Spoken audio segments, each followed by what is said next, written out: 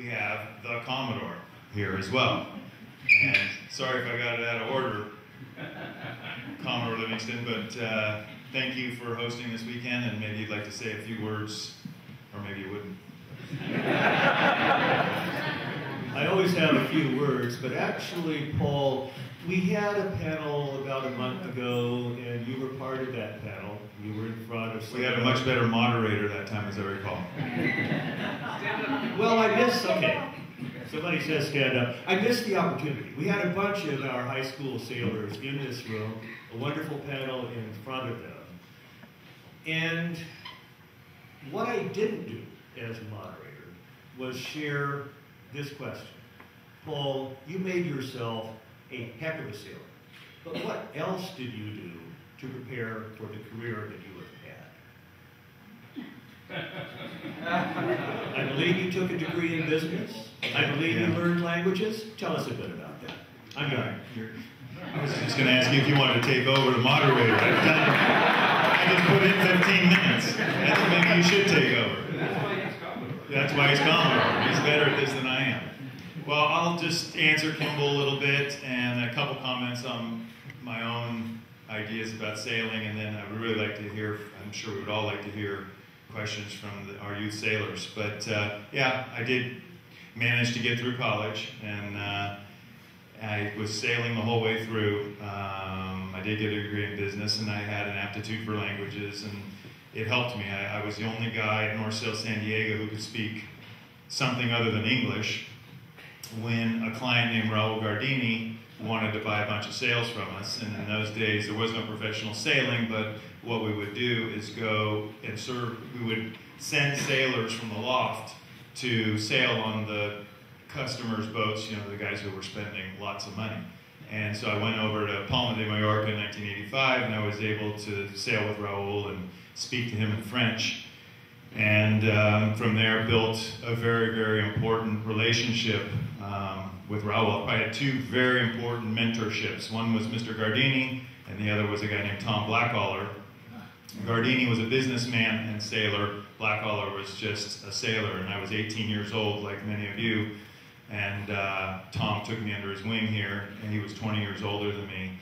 He took me in the Starboat first, and then to the America's Cup twice, uh, to the Southern Ocean Racing Conference several times. And he, like Lowell North did too, I remember clearly one time, they just put me forward. They just said, You can do it, steer the boat, go for it. And their confidence in me was a huge uh, step for me in, you know, becoming, having the courage to do uh, what I did. And like I think Rod said, or, or Steve, Steve said, don't ever turn, don't turn down opportunities. Grab those opportunities when they present themselves. You have to have the courage to grab them. So my final couple comments is just the diversity of the sport and my recommendations to you. What I say to you sailors is sail as many different kinds of boats as you can with as many different people as you can. I was 18 crewing for Blackaller and North Americans coming around the Leeward Mark and Buddy was leading, and Dennis was second, and we were third, and Bill Buchan was right behind us, and Lowell North had just tacked off. You know, at 18 years old. So at 18 years old, I had the opportunity to be tactically in a game that was way above my head. So you get those opportunities, you got to grab them.